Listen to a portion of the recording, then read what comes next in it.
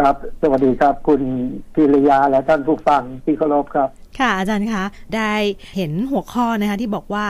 ตอนนี้เนี่ยจะเสนอในตอนที่ชื่อว่าข้อคิดจากโดเรมอน เราสามารถที่จะจับเอาการ์ตูนอะไรต่างๆเนี่ยมาเชื่อมโยงกับข้อคิดต่างๆ ได้ด้วยเหรอคะอาจารย์คะก็ไม่แปลกใจหรอกสมัยประเทศญี่ปุ่นเขาถึงเจริญอืมประเทศจีนก็ถึงเจริญอ่าใช่เพราะจริงๆแล้วไม่ว่าจีนว่าญี่ปุ่นทุกชาติหลาย ๆ ชาติโดยเฉพาะทางเอเชียเราอะค่ะ เวลามีหนังภาพยนตร์หรือว่าละครเนี่ย เราสังเกตให้ดีเขาจะมีคำคมคำพูดดีๆ สอดแทรกอยู่ตลอดแม้กระทั่งสังคมไทยเราก็มีอืมใช่ไหมค่ะมันจะมีใช่คำพังเพยคำสุภาษิตยิ่งจีนจะเยอะที่สุดในโลกค่ะเพราะจีนนี่เยอะมากร้อยลี้เริ่มที่ก้าวแรก ร้อยรู้หรือจะสู้หนึ่งทำอะไรเงี้ยค่ะเขาก็จะมีสอดแทรกไว้เรื่อยอืมส่วนการ์ตูนญี่ปุ่นโดเรมอนเนี่ยเราก็พูดมา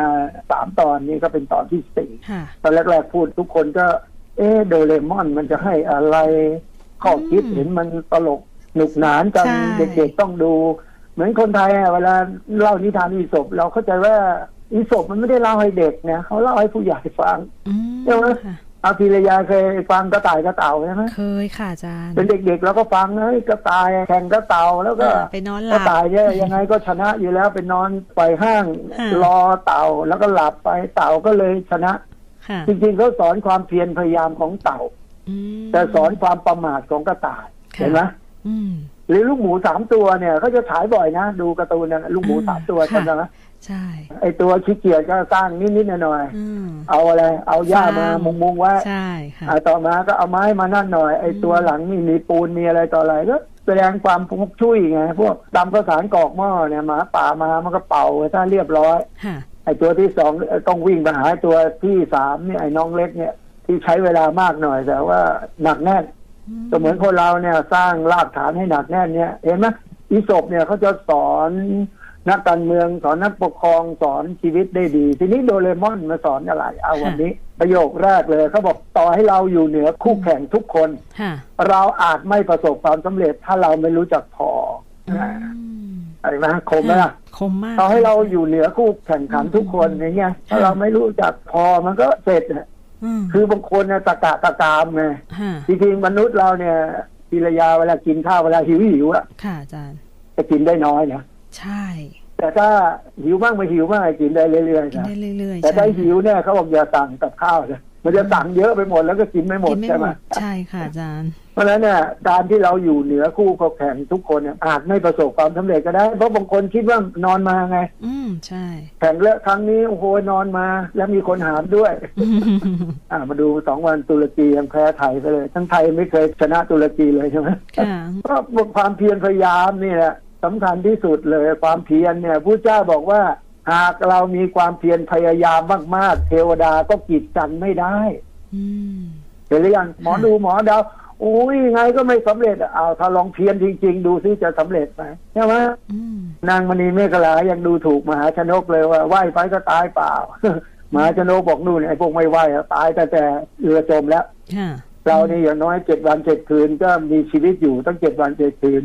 อืมใช่ยังได้ต่อสู้มา เพราะฉะนั้นเราไม่เห็นฝั่งเราก็ต้องเปลี่ยนค่ะแต่โดเรมอนบอกถ้าเราไม่รู้จักพอเราก็ไม่ประสบความสำเร็จนะเพราะเขาสอนรู้จักพอดีนี่คืออะไรค่ะพอดีค่ะพิรยาเวลาซื้อเสื้อซื้อกางเกงมาค่ะแล้วก็ต้องเอาที่มันพอดีพอดีใช่ไหมใช่ใหญ่ค่ะไปก็โคร่งเคร่งอืม size S สาม S เลยก็รัดเป๊ะเลยค่ะดูเหมือนดีแต่มันไม่ดีค่ะมันอึดอัดไง อืมอึดอัด แต่พอพอดีเนี่ย เหมือนกินข้าวเนี่ย ถ้าเรากินพอดีพอดีอะค่ะ แล้วที่ถ้าเป็นพระปฏิบัติด้วยนะท่านพอรู้สึกว่าจะอิ่มท่านรีบสลัดเลย รีบจบเกมเลย ค่ะเพราะว่าเดี๋ยวมันจะเป็นกิเลสแล้วอืมที่เราทำดีๆ ให้พระถ้าพระที่เป็น พระอริยะจริงๆ ท่านไม่เสพจนกระทั่งต้องเอานิ้วไปล้วงคอหรอกอืมคือจะกินพอดีพอดีใช่ไหมแล้วบางที่อะกินในบาทเลยนะฉันในบาทเลย ค่ะ รวมมิตรเลยเคยเห็นไหมล่ะอืมใช่ก็ใช่สมัยพุทธกาลน่ะพระสารีบุตรอะคนขอทานเอาใส่บาตรมานิ้วหักอยู่ในข้าวเขายังต้องเสวยต้องเอ่อต้องฉันเลยอะค่ะเห็นไหมเพราะฉะนั้นถ้าเรารู้จักพอคำเดียวนี่จบเลยอืมจะนึกถึงในหลวงรัชกาลที่เก้าเศรษฐกิจพอเพียงค่ะคนก็ไม่เข้าใจนึกว่าเศรษฐกิจนะแต่จริงมันทุกอย่างมันต้องพอหมดนั่นแหละอืมถ้าไม่รู้จักพอมันก็ ไม่รู้จักพอก่อสุขอะมันก็ก่อทุกข์นั่นแหละถ้าไม่รู้จักพออืมบางทีมันคำว่าพอเนี่ย ถ้าอธิบายมันก็ยากใช่ไหมค่ะว่าแค่ไหนคือพออืมเพราะว่าคนบางคนมันไม่รู้จักพอไงโลภได้เท่านี้ก็ไม่พอได้เท่านี้ก็ไม่พอในที่สุดก็โป้งเลย ท้องแตกตายอืมใช่ไหมค่ะมันมันไม่รู้จักพอแล้วมีกี่คนในโลกอะที่ไปหยุดไม่ได้พอหยุดไม่ได้ในที่สุดก็ สร้างอาณาจักรไปดูกรุงโรมกรุงกรีกกรุงอะไรที่อาจารย์เคยเล่าเล่าๆมาผ่านๆมาค่ะนะสมัยก่อนก็ตีกินดินแดนเขาทุกวันนี้เราจะเห็นว่ากฎแห่งกรรมเริ่มทำงานแล้วค่ะกิรยาเราย้อนกลับไปอะฝรั่งเศสกับอังกฤษอะเอาง่ายๆใกล้ๆแล้วเนี่ยสมัยรัชกาลที่ห้าใช่ไหมค่ะมาแผนที่ประเทศไทยมาแล้วมันก็สีแดงขีดจากเหนือจดใต้อืมทางอีสานก็ฝรั่งเศสทางตะวันตกนี่ก็อังกฤษอืม เขาแบ่งกันนะคนละครึ่งนะอังกฤษก็เอาพม่าเอาแม่น้ำสารวินมาเรื่อยค่ะฝรั่งเศสก็กินเขมรลาวยวนมาอืมข้ามฝั่งมาเอาไทยเนี่ยค่ะเนี่ยจนล้นเก้ารัชกาลที่ห้าท่านเรียกว่าปวดหัวตัวร้อนเลยตอนนั้นนะใช่ไหมค่ะใช่ เราเสียดินแดนไปอะทีละชิ้นละชิ้นละชิ้นมันก็เจ็บปวดนะค่ะ พอย้อนกลับไปอะเอ่อในสมัยพันนารายณ์ก็โปรตุเกสฮอลันดา พอเข้ามาค้าขายนั่นนะเขาก็จะเอาประเทศไทยเป็นเมืองขึ้นของมันไปอย่างนั้นอืมมันก็เป็นอย่างนี้มาตลอดแหละใช่ไหมค่ะอังกฤษฝรั่งเศสมาปุ๊บอังกฤษฝรั่งเศสหมดไปก็เป็นอเมริกันอ่าฮะค่ะแล้วก็ไปอ้าวพวกนี้มันไม่มีมีอยู่จริงยังไปเอาเขามาไงใช่ไหมใช่ มันมาเอาอะไรต่ออะไรรู้จักฝิ่นนะฟินรู้จักค่ะอาจารย์ ไม่เคยกินไม่เคยสูบนะไม่เคยค่ะ ตอนหนูฝิ่นนี้ชาติไหนมดรู้ไหมถ้าพิรยาดาวคงจะเป็นจีนใช่ไหมใช่ค่ะ แต่จริงๆอะอืมฝิ่นเนี่ย มาจากอังกฤษอ๋อเหรอมันคะมันได้อินเดียเป็นเมืองขึ้นจะไปปลูกที่อินเดียอ๋อแล้วก็พอทำเสร็จเป็นรูปร่างเสร็จก็ไปให้จีน จีนก็ปิดจำนอมแงมเลยอืมอ่าห้องเต้จีนก็บอกทนไม่ไหวก็ไล่กันตอนนั้นเกิดวีรกรรมหลินเจอสีขึ้นมาไงเผาหมดเลยอืมพอเผาจีนอังกฤษยุวะก็เลยเอาปืนใหญ่มาค่ะ ลิดมีดบินของจีนเลยสู้ปืนใหญ่อังกฤษไม่ได้ค่ะอืมแล้วอังกฤษก็ลุยเลยนะแต่ต้องชดใช้หนี้เขาอะเอ้าตัวเองเอาฝิ่นมามอมเมาเขาอะจริงว่าเมืองผู้ดีแท้ๆเลยไม่หรอกใช่เอาค่ะฝิ่นมาเฮโรอีนมาให้เขาอะอาจารย์เด็กๆยังเห็นเลยเขาเรียกโรงยาสมัยก่อนโรงฝิ่นโรงยาค่ะคนจีนนอนนี่นี่ดูดกันจนแห้งเลยตายอืมเนี่ยเห็นไหมอะค่ะ ก็เราไม่รู้ปูมหลังก็คนพวกนี้แล้วอังกฤษจะสัญญานะ ถ้าฝรั่งเศสมาอะไรจะช่วยไทยเราก็มอบดินแดนเนี่ยบางส่วนไปค่ะพอฝรั่งเศสมาอังกฤษทำเป็นทองไม่รู้ร้อนซะอย่างนั้นอืมนะไปอ่านดูแล้วเพราะอาจารย์ก็พูดอยู่บ่อยๆเมื่อก่อนการเสียดินแดนแต่ละชิ้นแต่ละชิ้นเนี่ยอืมพุทธเจ้าหลวงท่านก็เจ็บปวดอะใช่ไหมค่ะมันเป็นอืมเป็นพระเจ้าแผ่นดินอะค่ะดินแดนก็จะให้ใครไปมันก็ไม่ได้อะอืมเสียชื่อหมดว่าพระนเรศวรพระเจ้าตากอุตสาห์กู้ชาติมาให้ใช่ไหม ค่ะอ้าวไปพระไกลเลยโดเรมอนโดเรมอนเราโดเรมอนสอนเรื่องความพอเพียงอีกสอนเรื่องความพปอระเพีโยยคงหนึ่งค่ะโดเรมอนก็บอกว่าความจริงไม่มีขาย อยากได้ต้องใช้ใจแลกมาสั้นนะโอ้ความจริงใช่ไหมคะ อันนี้สำคัญนะค่ะยังไงคะคนเราเนี่ยปิรยา เรากว่าจะรู้ใครจริงจังจริงใจเนี่ยพุทธเจ้าบอกต้องใช้เวลาเพราะบางคนเจอปุ๊บ แต่งงานปั๊บอะไรอย่างเงี้ยค่ะหรือเจอเพื่อนปุ๊บพาไปเลี้ยงปั๊บเกิดเรื่องโป๊ะเลยอืมอืมความจริงใจมันใช้เวลาเพราะบางคนในเวลาตั้งนานมันดูเขาไม่ออกเลยใช่ไหมค่ะดูสุมาอี้อยู่กับโจโฉก็นานโจโฉอาจจะดูออกดูไม่ออกเราไม่รู้ใช่ไหมค่ะว่าสุมาอี้นี่คือสุดยอดแล้วอืมกระดาษเดินไปหันหลังตัวยังไม่หันเลยแต่หน้าหันได้ที่ดูสุมาอี้เลยยิ่งกับจิ้งจอกอีกสุดยอดเลยอืมเขาถึงได้ครองแผ่นดินจีนไงค่ะเพ ราะฉะนั้นความจริงใจเนี่ยไม่มีขายอยากได้ต้องใช้ใจแลกมาอืมใจก็คือต้องเหมือนกับเป็นทหารเนี่ยค่ะถ้าเราเป็นนายเขา ถ้าเราไม่ให้ใจเข้าไปเขาไม่ได้ ให้เงินอย่างเดียวไม่ได้หรอกอืมต้องใช้ใจเขาสุขทุกข์ยังไงดูแลเขา พ่อแม่ลูกเต้าเขาเป็นยังไงได้เรียนหนังสือไหมเขาป่วยเขาเจ็บดูแลเขาหรือเปล่าใช่ไหมค่ะใช่สังเกตไหมนักรบสมัยก่อน ไม่ว่าจะเป็นในพลลอมเมลมอนตอมอรี่สมัยสงครามโลกอะค่ะพวกเนี้ยจะดูจิตใจทหารถึงนู่นเลยเข้าไปถึงตื่นเลยอะเป็นอะไรเนี่ยเช้ามืดก็ โอ้ย เดินตรวจเป็นยังไง หนูพ่อแม่สบายดีไหมเจ้าไอ้ต้องการอะไรหรือเปล่าอะไรเงี้ยค่ะ พอในพลลอมเมลมาตบหลังเท่านั้นนะโอ้โหนอนไม่หลับเลยดีอกดีใจไงค่ะเพราะฉะนั้นเนี่ย ความจริงใจมันไม่มีขายอืมถ้าอยากได้ก็ต้องเอาจิตเอาใจ เอาจิตเอาใจก็คือต้องเอาใจแลกเข้ามาไงให้เขาก่อนทำอะไรด้วยความจริงจังจริงใจค่ะคนเรามันจะศรัทธากันเนี่ยหัวใจนะค่ะเอาหัวใจแลกมา นั่งอยู่ในใจเขาไม่ได้นั่งอยู่บนหัวเขาอืม ถ้าคุณชี้ไปไอ้ซ้ายไปขวาไปก็ได้ไง ตอนมีอำนาจวาสนาหมดอำนาจวาสนาเอาหัวโขนออกไม่รู้หัวอะไรอยู่บนหัวอีกทีหนึงก็ไม่รู้อืมใช่ไหมค่ะใช่อาจารย์ค่ะเพราะฉะนั้นเนี่ยเห็นไหมอย่างโดเรมอนบอกความจริงใจไม่มีขายอยากได้ใจต้องแลกกับเพราะบางคนเวลาโดเรมอนมันดำเนินเรื่องไปมันพูดเร็วเนี่ยคนก็ไม่ได้จะอืมโดยเฉพาะเด็กๆเยาวชนดูก็ดูสนุกหนานค่ะผู้ใหญ่ก็แทบจะไม่ได้ดูเลยมะ อาจารย์ก็ดูบ้างไม่ดูบ้างแต่ชอบเกรดชีวิตเล็ก ๆ น้อยๆที่เขาพูดออกมาเนี่ยค่ะพอสังเกตเห็นแล้วเราก็สกัดออกมา แล้วก็มาเล่าสู่กันฟังอืมเอามาพูดให้ฟังค่ะเหมือนกับเรื่องพุทธเจ้าอะยาว แต่ว่าเขาก็คัดวิธีการของนักปราชญ์โบราณเขาเรียกธรรมบทอะเคยได้ยินไหมเคยได้ยินที่อาจารย์เสถียรพงศ์วรรณปกท่านแปลว่าเป็นเล่มๆเลยค่ะแปลเป็นภาษาอังกฤษเป็นภาษาบาลีเป็นภาษาไทยฝรั่งฝรั่งเนี่ยเขาแปลทั่วโลกเลยนะ ธรรมบทเนี่ยเมืองไทยขายคุณก็ไม่ค่อยอ่านนะจริงๆอะฝรั่งอะเคยมีผู้ใหญ่ท่านหนึ่งให้มาเป็นภาษาอังกฤษล้วนๆเนี่ยโอ้โหเล่มหนึ่งต้องหลายร้อยอะนิดเดียวเองอืมค่ะเป็นพ็อกเก็ตเล็กๆใส่กระเป๋าเดินทางไปไหนมาไหนได้อืมเป็นคำพูดสั้นๆ สรุปคำพูดของพระพุทธเจ้าค่ะแต่คนก็ไม่ค่อยอ่านไงอืมจริงๆมันคือหัวใจเลยนะ ธรรมบทอะอาจารย์ก็พิมพ์เป็นภาษาไทยแจกอยู่บ่อยๆนะค่ะความจริงไม่มีขายอยากได้ต้องใช้ใจแลกมาต้องใช้ใจจำเอาไว้เลยจิตใจเนี่ยสำคัญค่ะที่เราเดินไปเดินมาเนี่ยร่างกายเดินค่ะแต่ใครสั่งจิตใจสั่งภรรยาใครสั่งให้มาเนี่ย ไม่ใช่เจ้านาย ใจเราใจเราค่ะช่ใจมันสั่งให้ออกไปออกได้เอามือขึ้นไป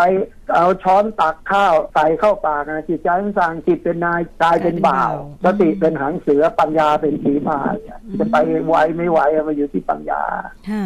อืมจิตเป็นนายกายเป็นบ่าวอืมแต่ไอ้บ่าวตัวเนี้ยมันรับประทานมากกว่าใจเอาเช้าขึ้นมาคนทำอะไรก่อนแล้วกินข้าวล้างหน้าล้างหน้าแปรงฟันกินกาแฟค่ะแต่งตัว เขียนคิ้วเขียนตาทาปากอะไรเนี่ย โอ้ยให้กายหมดแหละจริงว่าใช่ค่ะ ทีนี้จะล้างใจทำไงไหว้พระสวดมนต์อืมไม่มีเวลาค่ะพอใกล้จะตายเอาเอาชินมันชอนมาให้ฟังกันใหญ่เลยอืมทันไหมใช่ไม่ทันแล้วไม่ทันแล้วรดน้ำต้นไม้ต้องรดทุกวัน วันละกระป๋องกระป๋องรดทุกวันค่ะ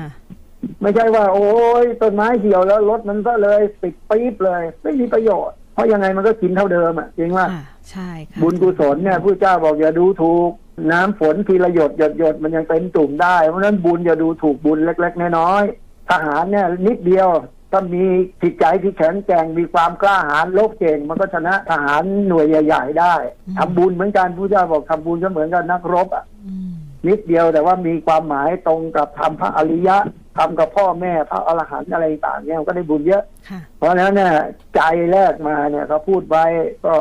น่าสนใจก็เอาไปคิดต่อว่ามันมีสาระแค่ไหน คิดว่ามีประโยชน์นะโดยเลมอนค่ะอีกสักประโยคหนึ่งเวลาให้ใจใครไปพูดแบบไปรุ่นเลยนะให้ใจใครไปค่ะอาจารย์ผู้หญิงผู้ชายต้องระวังนะสาวๆเนี่ยโอ้ให้ใจใครไป อย่าคาดหวัง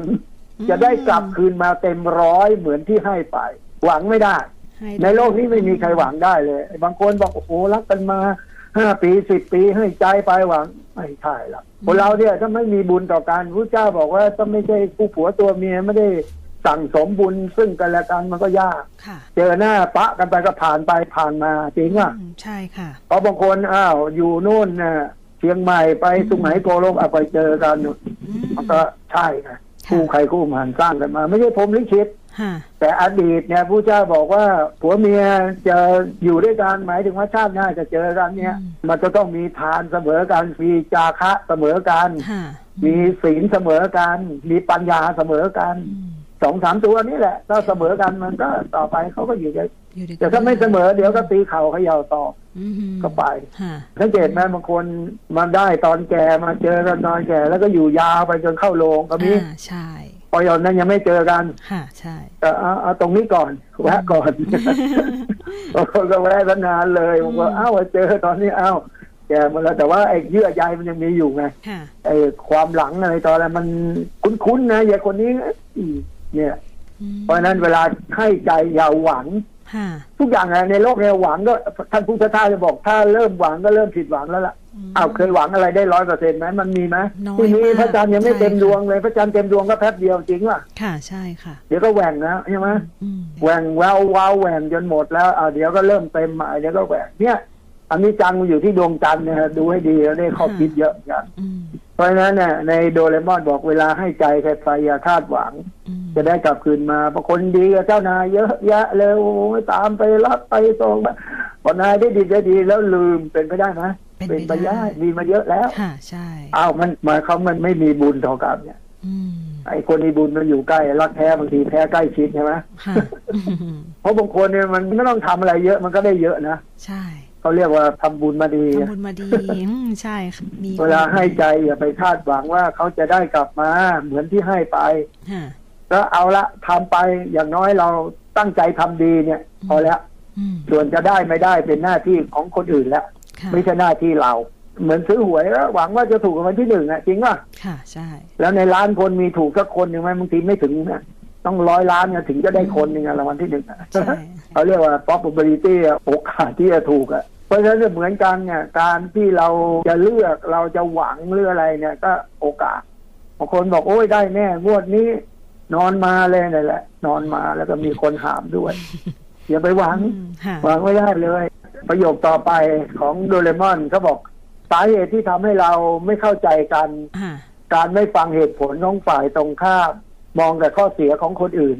คิดว่าสิ่งที่ทำไปนั้นตัวเองไม่ใช่คนทำผิดอืมมีไหมมีตัวอย่างเยอะนะเยอะค่ะอันนี้หลักการอจของเดนชนากี้เลยนะค่ะบาง เดนชนากี้บอกเวลาเราทำผิดนะฮะให้รับผิดไปเลยค่ะครับผมผิดเองนะเรื่องจบเลยนะค่ะทุกวันเนี้ยในโลกของความเป็นจริงเนี่ยมันไม่มีใครยอมรับผิดหรอกจริงป่ะใช่ค่ะอาจารย์ เอ้าเวลารถชนกันเนี่ยเถียทีงระยากันว่าใครรับผิดไหมยืนเถียงกันกลางถนนเลยค่ะ เห็นบ่อยมากอ้าวตำรวจมาถึงเนี่ยตำรวจจะรับสายไอ้นายกอมาว่าอืมเนี่ย อีขอมันผิดค่ะพอไปถึงยายขอยายขอก็ไอ้กอเนี่ยผิดค่ะจริงป่ะค่ะเนี่ยสาเหตุที่ทำให้คนเราไม่เข้าใจกัน การไม่ฟังเหตุผลฝ่ายตรงข้ามเนี่ยอืมสำคัญเลยนะค่ะมองแต่ข้อเสียของคนอื่น คิดว่าสิ่งที่ตัวเองทำไป ไม่ใช่คนทำผิดอืมบางครั้งผิดร่วมก็มีใช่ไหมผิดร่วมกันอะใช่มันจ้าเอ๋กันมึงก็พากูก็พาไปใช่แดงมาด้วยกันแต่สมมตินะค่ะเออเพราะเราบอกเอาไม่เป็นไรสังเกตว่ามันมีผู้ใหญ่คนหนึ่งเขาเล่าให้ฟังเขาบอกว่าขับรถไปอยู่อยู่ดีอะอ่า ไฟเขาเขียวเขาก็ออกไอ้วัยรุ่นเนี่ยไฟแดงมันผ่ามาอ๋อแล้วมาชนรถผู้ใหญ่ท่านนี้ค่ะท่านก็เลยโมโหเหมือนกันแต่ท่านก็ไม่เอาเห็นเป็นเด็กน้อยอืมก็เลยบอกเฮ้ยไอ้หนูกำลังเนี่ยไอ้หนูน่ะยอมรับผิดไงค่ะครับผมผิดเองครับคุณลุงอยังงูนอย่างเงี้ยอ๋อเขาก็ไม่ได้เอาโทษเลยนะค่ะรถเสียหายไปเยอะ ก็เลยเตะก้นไปทีก็เล่าให้ฟังเป็นเด็กวัยรุ่นอืมเตะก้นไปทีบอกกระหลังให้ดูไฟดงไฟแดงด้วยนะอืมท่านไม่ได้เอารถเสียหายเยอะเหมือนกันแต่ท่านก็ไม่เอาผิดเห็นเป็นเด็กไงค่ะเด็กไม่ยอมรับผิดไงแล้วบอกดีนะมันยอมรับผิดถ้าไม่ยอมรับผิดจะเรียกตำรวจมาอืมไม่ยอมรับผิดไงเอ้าผัวเมียเนี่ยยอมรับผิดอย่างเดียวจบเลยนะค่ะสมมติเออเราเป็นนายทหารเนี่ย ทหารมันมาไม่ทันเวลานิดหน่อยครับ ผมอยังงู้นอย่างนี้อะไรเนี่ยเราก็ต้องให้อภัยเขาแล้ว เพราะเขายอมรับผิดไง เอาเหมือนศาลสถิตยุติธรรมรับผิดยังลดครึ่งเลยจริงป่ะใช่ค่ะอาจารย์แต่มันบางคนกว่าจะรับผิดเนี่ยโอ้โหเขาเค้นคอได้แล้วไงอืมเหตุผลมันไม่พอไงใช่ไหมอืมเขาจับได้ขาหนังคาเขาเนี่ยมันก็หมดสิเพราะฉะนั้นเนี่ย เวลาใครยอมรับผิดก่อนเนี่ย บางทีนะการที่บอกว่าผมผิดเองเนี่ย ไม่ได้เสียหายอะไรเลยนะค่ะทีระยาว่าจริงปะใช่ค่ะอาจารย์ แต่กลัวเสียหน้ากลัวเสียนู่นใช่เสียนี่บอกไม่เป็นไรผมผิดเอง ผมมันเหมาะตาไม่ดีมองไม่เห็นบางทีเราไม่ผิดจริงแต่เราบอกผิดอะ มันก็จบกันยิ่งกับผู้ใหญ่เนี่ยไม่ได้เลย ครับผมผิดเองครับผมน่ะไปเดินชนท่าน ผมอะไรต่ออะไรเนี่ยเออไม่ดูตาม้าตาเรือผิดเนี่ยเออ มันต้องอย่างนั้นแล้วก็จบเลย แต่ถ้าเถียงผู้ใหญ่เขาต้องบอกไม่ให้เถียงผู้ใหญ่ไม่ให้ไพ่ชันตนไงภาษีตายอะอืม เพราะเราไปเถียงเนี่ยไอ้ผัวเมียเนี่ยถ้าเถียงกันเมื่อไหร่ขึ้นไปขึ้นมาก็อ๋อเดี๋ยวก็ทะเลาะกันจริงป่ะใช่ใช่ค่ะ ไม่เชื่อลองเอาพักการเมืองใดพักการเมืองมาแล้วก็เถียงกันไปเถียงกันมาโอ้โหเพราะว่ามันมันไม่มีที่สิ้นสุดอยู่ในสภากันแหละใช่ใช่ไหมใช่ใช่เพราะฉะนั้นมันไม่ได้ไปไหนเราเพราะมันมองแต่ข้อเสียเนี่ยอืมท่านพุทธทาสถึงบอกให้มองแต่ข้อดีเขาบ้างอืมเขามีส่วนเลวบ้างช่างหัวเขาจงเลือกเอาส่วนที่ดีเขามีอยู่เป็นประโยชน์ต่อโลกบ้างอย่างน่าดู ส่วนที่ชั่วอย่าไปรู้ของเขาเลยอืม คือจะหาคนมีดีแต่ส่วนเดียวอย่ามัวเที่ยวค้นหาสหายเอ๋ยอืมเหมือนเที่ยวหาหนวดเต่ามีไหมไม่มีไม่มีตายเปล่าเลยอืมคุณไม่เคยมองแต่ดีมีคุณจริงใช่ไหมอืมค่ะคือมองแง่ดีเขาไว้นิดๆหน่อยๆอะไรที่มันมองข้ามได้ก็มองไปอืมอย่าคำว่าการมองข้ามเนี่ยคือปัญญานะรู้ป่ะอืมค่ะการมองข้ามเล็กๆน้อยๆไปเนี่ย ถ้าหลายคนมองโอ้โหขวาชิดหูเลย ไม่ได้เหมือนเล่นตะกร้อต้องเอาให้อยู่เอามันในคันให้ตายเลยอย่างเงี้ยคนพวกนี้เครียดมะเร็งมาถึงมาเมียมาแม่เกิดขึ้นแน่นอนเลยอืมเพราะว่าในโลกของความเป็นจริงเนี่ยเดินเจอหลุมต้องกลบหลุมเจอตอต้องตัดตอก่อนมันตายก่อน ไม่ไหวเดินค่ะมันมันต้องอะไรที่อารมณ์อร่วยมองข้ามได้ก็มองข้ามซะค่ะเพราะโลกนี้จริง ๆ แล้วมันก็ พูดตรงๆนะแม้แต่พระพุทธองค์เนี่ยก็ยังมีโอกาสจำได้นะท่านมีวิบากกรรมตั้งสิบกว่าตอนที่อาจารย์เคยมาเล่าให้ฟังอะใช่ไหมใช่ค่ะขณะท่านเป็นพระโพธิสัตว์แล้วหลาย ๆ ตอนเนี่ยเพราะฉะนั้นนี่ก็คือสิ่งที่สาเหตุที่เราไม่ค่อยเข้าใจ เพราะไม่ค่อยฟังเหตุผลอืมผู้ไปฟังเท่านั้น ถ้าเป็นไอ้หน้านี้คือใจมันไปก่อนแล้วไงใช่ไหมค่ะใจมันไปไม่ยอมหยุดไม่ยอมให้อภัยซึ่งกันและกันพอให้อภัยแล้วเป็นไงมันก็สบายใจถ้าไม่ให้อภัย เราก็เอาขยะไว้ในสมองเราอะอืมบางคนเอาไว้ในสมองจนตายเลยก็มีนะค่ะอืมใช่ไหมเพราะว่าอะไร เพราะว่าเก็บเอาไว้ไง แล้วมันก็บูด คิดอะไรสร้างสารรค์ก็คิดไม่ได้ไม่ได้หรอกค่ะเพราะมันไปมองแต่ข้อเสีย ให้มองแต่ข้อดีเขาซะบ้างอืมใช่ไหมอืม เนี่ยเห็นไหมข้อคิดจากโดเรมอนพีรยาว่าเป็นไงน่าคิดนะล่ะดีมากเลยค่ะอาจารย์จริงๆแล้วมันไม่ใช่แค่ข้อคิดจากโดเรมอน อย่างเดียวที่อาจารย์พูดมา เราสามารถที่จะเก็บเอาชีวิตประจำวันต่างๆเนี่ยมีข้อคิดหมดเลยนะคะอาจารย์ครับไม่ก็ได้มาฝากกันวันละนิดวันละหน่อยนะฟังแล้วเอาไปคิดต่อ มันไม่ได้หนักหนาสาหัสสากันอะไร เรื่องราวต่างๆ เป็นเรื่องที่มันเกิดขึ้นอยู่ทุกเมื่อเชื่อวันนั่นแหละอืมค่ะถ้าเราเข้าใจนะเอานำไปใช้มันก็จะเกิดประโยชน์ค่ะ เล็กๆน้อยๆเนี่ยสำคัญอืมเราเก็บเกี่ยววันละนิดวันละหน่อยใช่ไหมค่ะ มันก็จะเป็นประโยชน์นะ อาจารย์ได้เอาเรื่องเล่าหรือว่าคำคมต่างๆ มาสรุปให้ฟังเนี่ยทำให้เราเนี่ยสามารถที่จะคิดตามนะคะ ต่อจากนี้ไปเวลาที่เราใช้ชีวิตแล้วก็ไปได้ฟังคำอะไรมาเนี่ย เราก็จะมีระบบของความคิดนะคะฉุกคิดขึ้นมาแล้วแหละว่ามันสามารถเอามาใช้ชีวิตในชีวิตประจำวันหรือว่าปรับใช้ได้ยังไงบ้างนะคะ